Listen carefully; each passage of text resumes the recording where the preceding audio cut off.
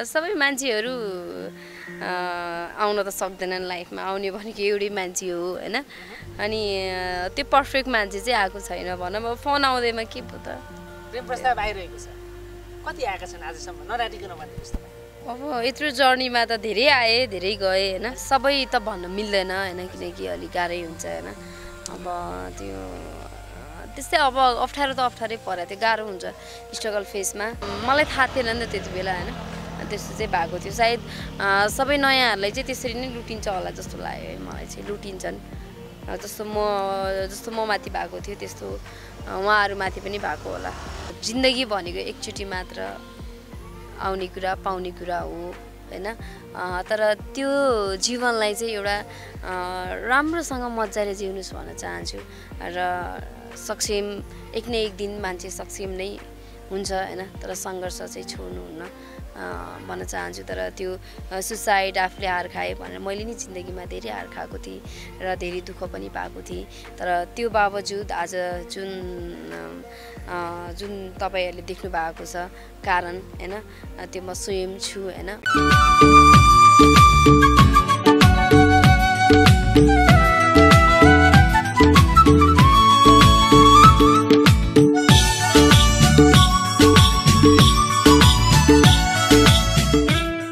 दर्शक नमस्कार अनि हार्दिक स्वागत छ म तपाईँको अनुप लिम्बू उपस्थित भइसकेको छु र आज पनि मसँग एकदमै उदाहरणीय व्यक्तित्व हुनुहुन्छ जो चाहिँ नि रातारात टिकटकमा सामाजिक सञ्जालमा भाइरल हुनुभएको छ। पक्कै पनि कोमल एनपिजी हुनुहुन्छ। अहिले चाहिँ नि उहाँ उदाहरणीय व्यक्तित्वको रूपमा छाउनु भएको छ। उहाँका दुःख सुख सङ्घर्षका कथा र रमाइला कुराकानी लिएर उपस्थित भएको छु। म कोमलजीलाई स्वागत गर्न चाहन्छु। नमस्ते। नमस्ते। सन्चै हुनुहुन्छ?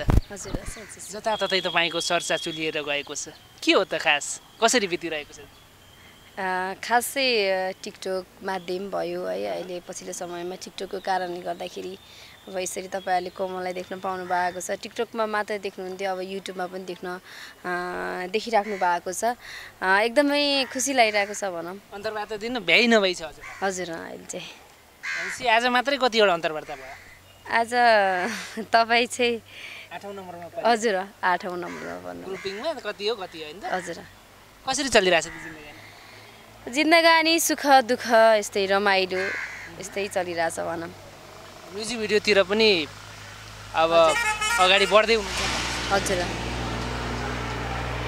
कहिलेबाट तपाईँको फ्लोरमा जान्छ कहिलेबाट सुटिङ ए। अब चाहिँ हाम्रो प्रकाश सपुत दाईको म्युजिक भिडियो मतलब उहाँसँग सहकार्य गर्न पाउँदा एकदमै खुसी पनि छु। सो भोलि सुट भइरहेको छ शनिबार सुटिङ भइरहेको छ। हेरौँ कस्तो हुन्छ तिहार तपाईँको सपनाहरू बिस्तारै पुरा हुँदै गइरहेको छ। हजुर।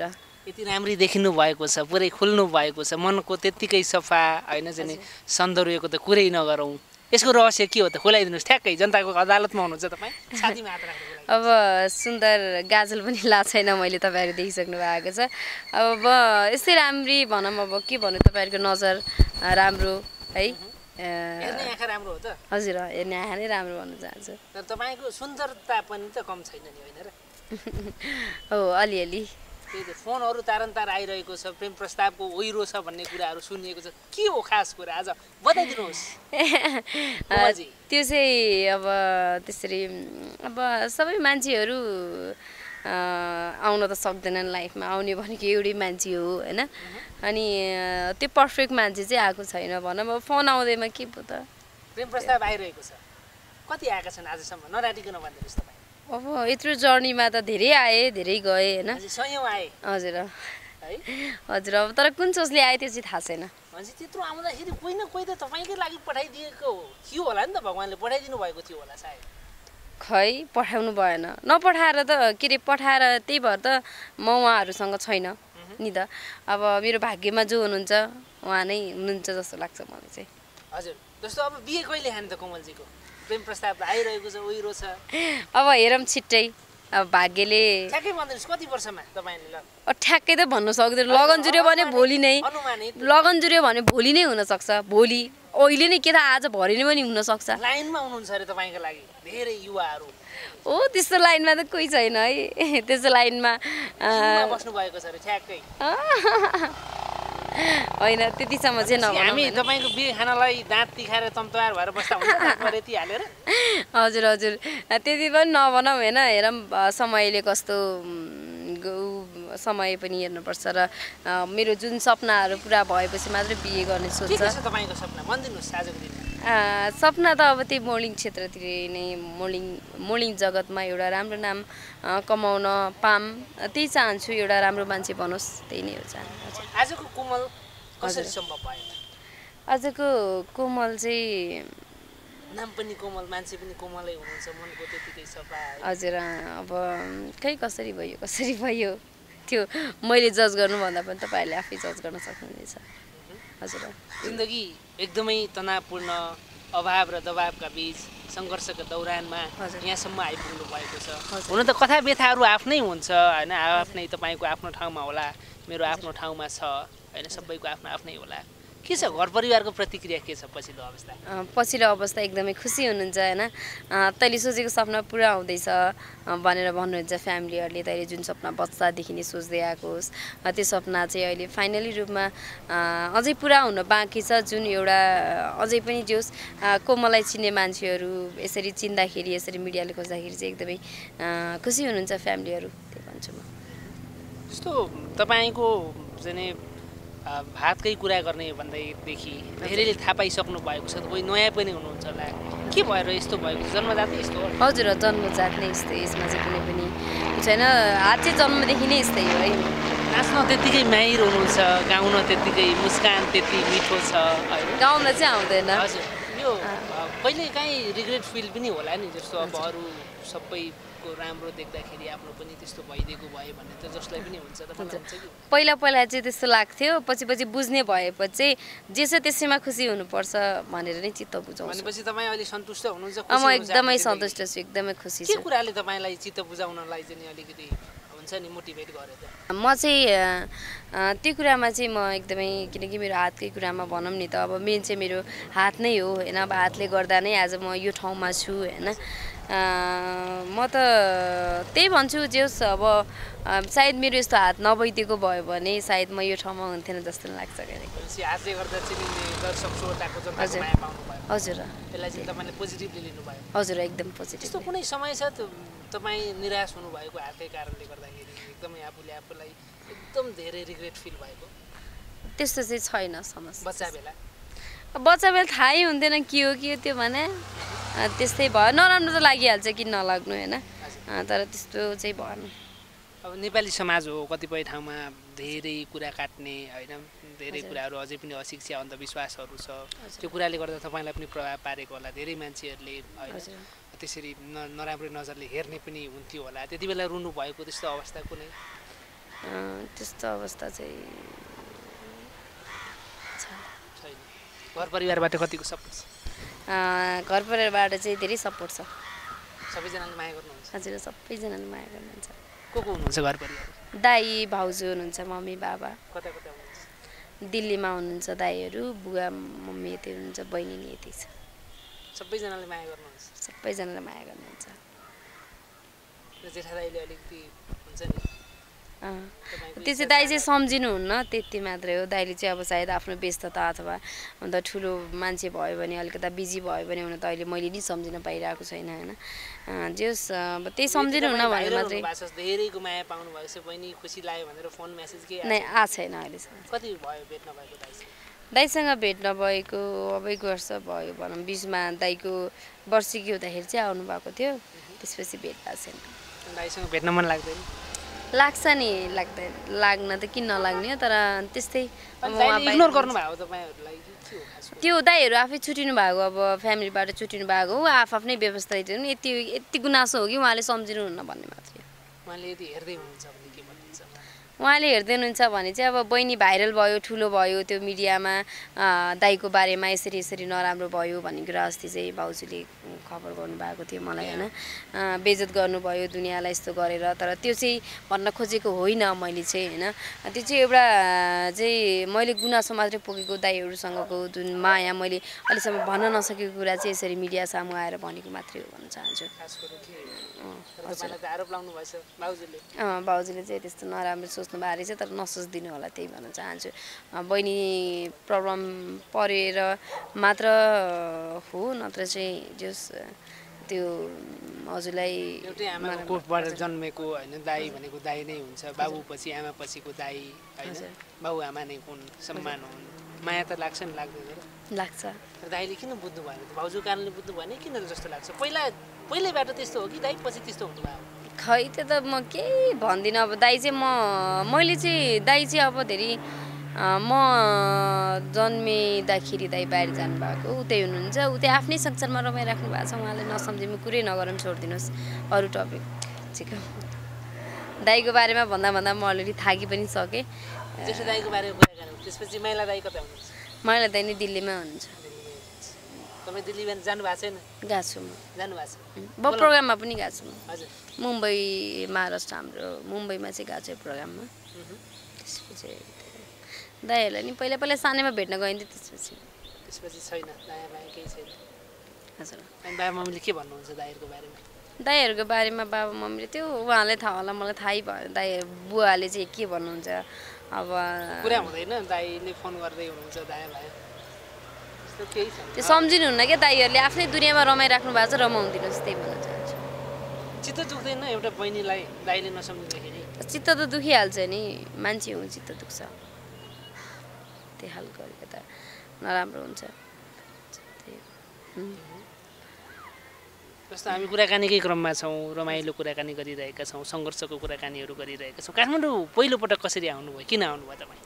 म मोडलिङको उसमा आएको थिएँ स्टडी प्लस मोडलिङको क्रममा आएको। कहिले आउनुभएको थियो पहिलोपटक? म अब धेरै वर्ष भयो चार पाँच वर्ष भयो। चार पाँच वर्ष जस्तो काठमाडौँमा अब तपाईँलाई चाहिँ सोझो मान्छे होइन गाउँको मान्छे हजुर।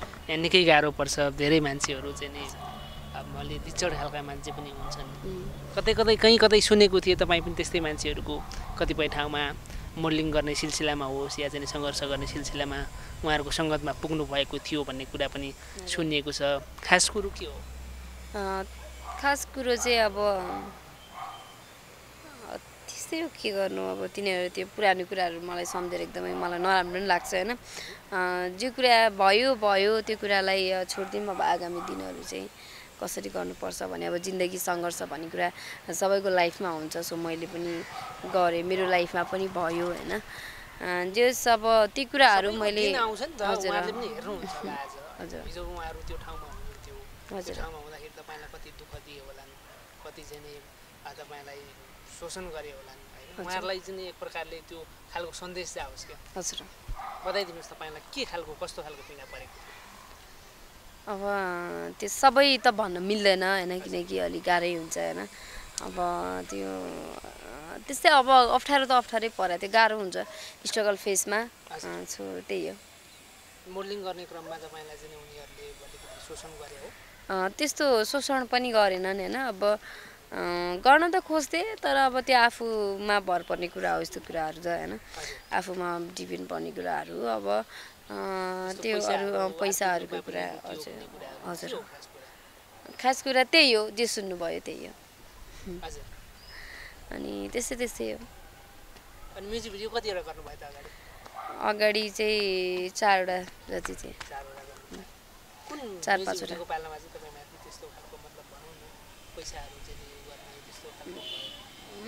त्यो चाहिँ पहिलो भिडियोमा।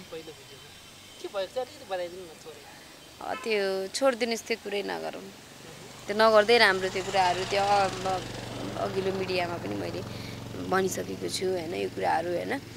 अब चाहिँ त्यो अब त्यस्ताको ऊ लागेर पनि नगरौँ। अब किनकि मैले त्यो भिडियो पनि रोकिदिन लगाएको थियो उसले चाहिँ होइन म कति रोएको थिएँ। भिडियो चाहिँ निस्काइदिनु बरु म पैसा पठाइदिन्छु त्यो टाइपको पनि भएको थियो होइन। त्यो अब मलाई थाहा थिएन नि त त्यति बेला होइन। त्यस्तो चाहिँ भएको थियो। सायद सबै नयाँहरूलाई चाहिँ त्यसरी नै लुटिन्छ होला जस्तो लाग्यो है मलाई चाहिँ लुटिन्छन्। जस्तो म जस्तो म माथि भएको थियो त्यस्तो उहाँहरूमाथि पनि भएको होला। जो पहिलो पहिलो मान्छेहरू आउने। वैचारिक रूपले लुटिनु भयो। हजुर। उहाँहरूलाई के भन्नुहुन्छ? सायद म उहाँलाई केही भन्दिनँ म उहाँलाई के भन्दिनँ फलोस् फुलोस् राम्रै होस् भन्न चाहन्छु उहाँहरूलाई। ठिक छ जे गर्नुभयो राम्रो गर्नुभयो। राम्रै होस् त्यही चाहन्छु। तपाईँ परिवारको कुन बहिनी? एउटा छोरी। माइली होइन दुई तिनवटा। हजुर। अब कसरी अगाडि बढ्छ कोमलको जिन्दगानी? अब हेरौँ अब कसरी बढ्छ। केही योजना त होला योजना त अब त्यही योजना चाहिँ बच्चादेखि योजना गर्दै आएको मान्छे हो अहिलेसम्म सक्षम भएको छैन होइन। अब हेरौँ आगामी दिनहरूमा चाहिँ कसरी के के हुन्छ हेरौँ। फिल्महरूबाट कुनै अफर? अफर आएको छैन त्यस्तो फिल्महरूबाट चाहिँ। अहिले तपाईँलाई त्यस्तो समस्या ठुलो केही अहिले त्यस्तो समस्या पनि केही छैन। अब त्यही मोडलिङ क्षेत्रमा अगाडि बढोस् त्यही चाहन्छु अरू केही। हजुर। हजुर। त्यस्तो केही भाडा तिर्नहरू गाह्रो भइरहेको ए अँ त्यो चाहिँ अहिले लकडाउनमा चाहिँ गाह्रो भयो भन्ने कुरा हो। त्यो त्यो- त्यो कुरामा चाहिँ अलिकति गाह्रो छ। गाह्रो छ। कति महिनाको तिर्न बाँकी छ? आठ महिनाको तिनमा हजुर। आठ महिनाको कति जति लगभग छेपन्न हजार। हजार पचपन्न छपन्न हजार यस्तै। लकडाउन भयो खानालाई नै समस्या। अनि खानालाई चाहिँ त्यस्तो समस्या हुँदैन गाउँबाटै आउँछ। अलिकता भाडामा मात्रै अलिकता गाह्रो। होइन मतलब काम पनि गर्न पाइएको छैन त्यसपछि कति। खानामा समस्या हुन्छ अनि भाडा तिर्न चाहिँ निकै गाह्रो हुन्छ नि त। हजुर। अरू मान्छेहरूले धेरै मान्छेहरूले चाहिँ केही यसो सहयोग गर्न सकिन्छ कि भनेर उहाँहरूले? तपाईँलाई कसरी सहयोग गर्न सकिन्छ भन्ने खालका जिज्ञासाहरू पनि। भएको छ। उहाँहरूलाई के भन्नुहुन्छ? उहाँहरूलाई चाहिँ अब सहयोग गर्नुहुने सबैलाई धन्यवाद भन्न चाहन्छु। अहिलेसम्म चाहिँ सहयोग चाहिँ आएको छैन होइन? यदि सहयोग गर्नु चाहनुहुन्छ भने चाहिँ मेरो अकाउन्ट नम्बरमा चाहिँ हालिदिनु होला भन्न चाहन्छु। तपाईँको अकाउन्ट नम्बर हामी यो भिडियोको। डिस्क्रिप्सनमा पनि हजुर। तपाईँ टिकटकमा त अलरेडी चाहिँ साह्रै हुनुहुन्थ्यो। यतापट्टि मिडियापट्टि युट्युबपट्टि कसरी आउनुभयो? युट्युबपट्टि चाहिँ अब फर्स्ट हाम्रो एसके ट्युब नेपालले चाहिँ मेरो फर्स्ट इन्टरभ्यू लगाउनु भएको थियो। हाम्रो टिका दाईलाई पनि सम्झिन चाहन्छु। उहाँको थ्रोबाट चाहिँ अहिले तपाईँहरू सामु अब सबै मिडियाले खोज्दै हुनुहुन्छ भनौँ। कहिले सोच्नु भएको थियो यति धेरै माया पाउँछु भनेर? नाइ सोचेको थिएन। तर एक न एकचोटि चाहिँ सफलता हासिल हुन्छ चाहिँ सोचेको थिएँ। तर अहिले एक्कासी चाहिँ भयो नि त भनेपछि जस्तो धेरै मान्छेहरू चाहिँ डिप्रेसमा होला नि कि मलाई चाहिँ नि भगवान्ले होइन कतिपय तपाईँ जस्ता मान्छे हामी जस्ता मान्छे पनि अहिले लकडाउनको कारणले गर्दाखेरि सोचेकोहरू पुरा नहुँदाखेरि धेरैजना डिप्रेसनमा हुन्छ मान्छेहरू। कतिले चाहिँ आफैलाई आफैलाई सिध्याउन पनि खोजिरहेको सिध्याइरहेको अवस्था पनि छ। एउटा ठुलो समस्याको रूपमा देखा परेको छ नेपालमा। अन्तिममा छ उहाँहरू जस्तो मान्छेहरूलाई त्यो तनावमा भएको मान्छेहरूलाई के भन्नुहुन्छ के सन्देश दिनुहुन्छ? एक प्रकारले जिन्दगी त सङ्घर्ष हो होइन सङ्घर्षको यात्रा गर्दै जाँदाखेरि को कहाँ पुगिन्छ कति बेला के हुन्छ थाहा हुँदैन। तपाईँको पोइन्ट अफ भ्यूबाट उहाँहरूलाई के सन्देश? उहाँलाई चाहिँ म अब हुन त जो चाहिँ जिन्दगीदेखि हार खाएका। छन् उहाँलाई चाहिँ हार चाहिँ नखानुहोस् भन्न चाहन्छु होइन किनकि जिन्दगी भनेको एकचोटि मात्र आउने कुरा पाउने कुरा हो होइन तर त्यो जीवनलाई चाहिँ एउटा राम्रोसँग मजाले जिउनुहोस् भन्न चाहन्छु र सक्षम एक न एक दिन मान्छे सक्षम नै हुन्छ होइन? तर सङ्घर्ष चाहिँ छोड्नुहुन्न भन्न चाहन्छु। तर त्यो सुसाइड आफूले हार खाएँ भनेर मैले नि जिन्दगीमा धेरै हार खाएको थिएँ र धेरै दुःख पनि पाएको थिएँ। तर त्यो बावजुद आज जुन जुन तपाईँहरूले देख्नु भएको छ कारण होइन? त्यो म स्वयं छु होइन? उहाँहरूलाई चाहिँ त्यही भन्न चाहन्छु त्यस्तो नराम्रो मृत्यु र जन्म जन्म र मृत्यु भन्ने कुरा भगवान्ले तोकेर आएको हुन्छ। त्यो सुसाइड गरेर एकदमै त्यो खालको चाहिँ त्यो खालको चाहिँ नगरिदिनुहोस् भन्न चाहन्छु। त हार चाहिँ कहिले नखानु जिन्दगी त्यस्तो कुनै बेला हार खाएर तपाईँले त्यो खालको मानसिकता बनाउनु भएको थियो? त्यस्तो खालको चाहिँ मर्नै पर्छ भन्ने चाहिँ भएको थिएन होइन? एकचोटि नराम्रो भयो भने अर्कोचोटि चाहिँ पालाउँछ जस्तो लाग्थ्यो धेरै थिएन पक्कै पनि तपाईँको यो जोस जाँगर ऊर्जालाई हेरेर नेपाली समाजले धेरै कुराहरू सिक्नुपर्छ जस्तो लाग्छ मलाई। हजुर। अत्यन्तै चाहिँ नि ऊर्जाशील कुराकानी भयो यहाँलाई। फेरि पनि अझै पनि सफलताको शुभकामना। होइन तपाईँ चाहिँ नि अगाडि बढ्नुहोस् बिजी हुनुहोस् स्वस्थ हुनुहोस् मस्त हुनुहोस्। अनि आउँदै गरेको बडा दसैँको पनि शुभकामना। हस् थ्याङ्क यू सो मच धेरै धेरै धन्यवाद यहाँलाई। Thank you so much